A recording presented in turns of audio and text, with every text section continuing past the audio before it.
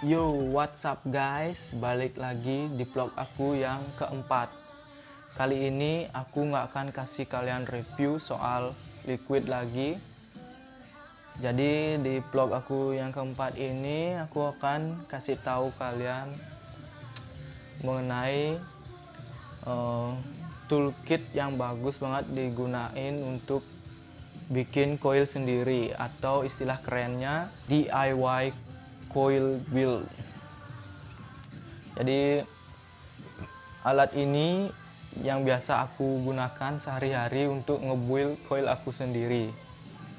Nah ini dia Geek Pep Toolkit P1 jadi dalam satu satu tas kecil ini udah lengkap banget alatnya untuk kalian para beginner dalam bikin coil nah jadi isinya itu kayak gini. Nah jadi aku akan jelasin satu-satu apa aja isinya dan apa aja kegunaannya. Yang pertama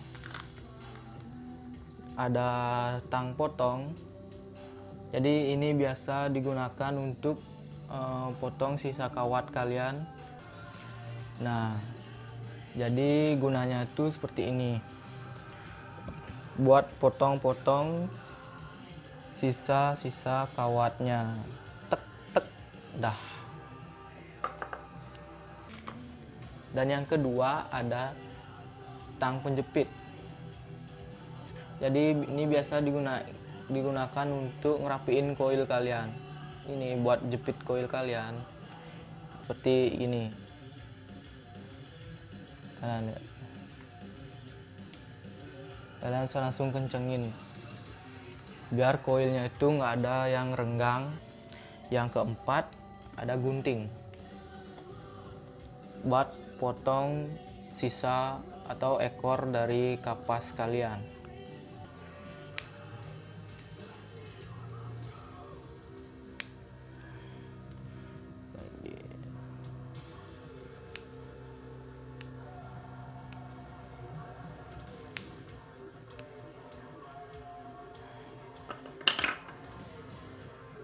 hasilnya.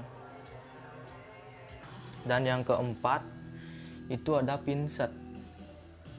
Pinset ini biasa digunakan untuk ngerapiin kapas kalian kalau kalian udah habis wicking.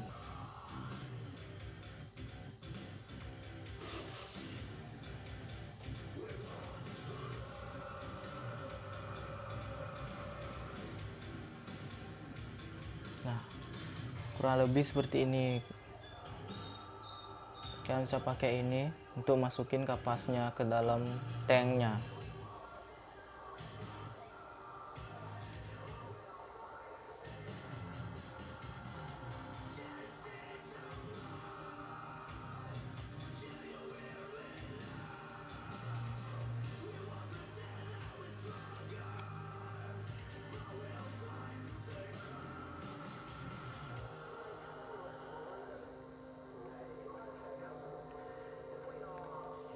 jadinya seperti ini guys. Kalian bisa lihat.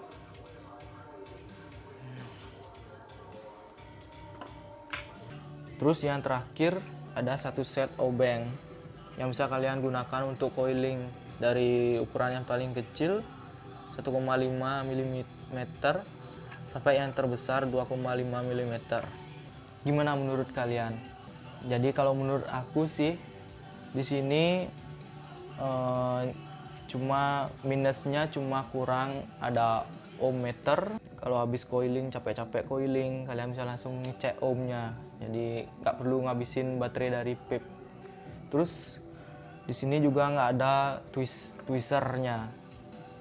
Dan satu lagi nih kekurangannya menurut aku uh, di dalam uh, gig pip tool toolkit ini juga nggak ada coil masternya.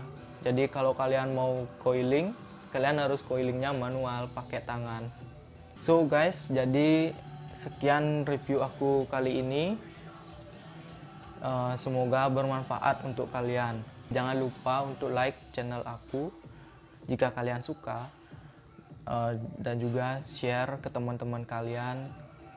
Terus jangan lupa juga buat subscribe channel ini aku juga pengen ingetin untuk kalian yang umurnya masih di bawah 18 tahun tolong tolong jangan start untuk vaping dulu oke okay?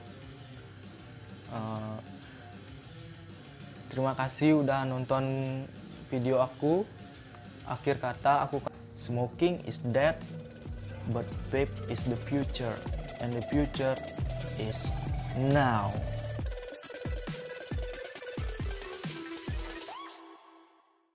So guys, kalau kalian udah belajar tadi cara make Geekvape Toolkit, jadi di vlog aku selanjutnya aku akan kasih kalian review dari Coil Master ini. Gimana? Aku kan kasih tahu kalian caranya dan jelaskan bagaimana cara make Coil Master ini. Jadi jadi kalian tunggu video-video aku selanjutnya. Oke? Okay?